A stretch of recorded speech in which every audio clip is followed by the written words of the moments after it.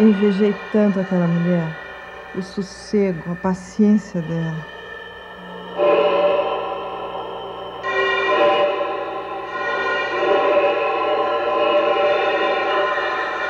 Você que me castiga, o que, que você sabe da inveja? Você pensa que a inveja tem que ser predatória.